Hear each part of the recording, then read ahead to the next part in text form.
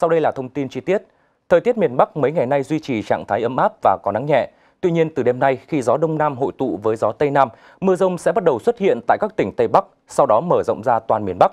Đợt mưa rông này được dự báo sẽ kéo dài đến cuối tuần này. Sáng sớm nay 16 tháng 3, một vài nơi tại miền Bắc xuất hiện sương mù, nhưng diện và lượng không đáng kể. Đến giữa trưa, sương tan nhanh khi nắng xuất hiện. Toàn miền Bắc trời ấm áp, cao nhất tại Hà Nội hôm nay lên mức 28 độ. Các tỉnh còn lại phổ biến 26 đến 29 độ. Riêng các tỉnh Tây Bắc như Điện Biên, Sơn La, Lai Châu nắng trên 30 độ. Tuy nhiên từ đêm nay, các tỉnh Tây Bắc Bộ và vùng núi phía Bắc sẽ chuyển mưa rông, sau đó tập trung chủ yếu về đêm và sáng. Sáng ngày mai, mưa mở rộng ra toàn miền và có thể kéo dài trong 2 đến 3 ngày.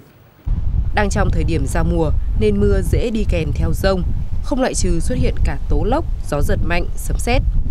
Vì vậy, người dân phải hết sức cảnh giác và có các biện pháp che chắn, chẳng chống nhà cửa để tránh những thiệt hại đáng tiếc có thể xảy ra.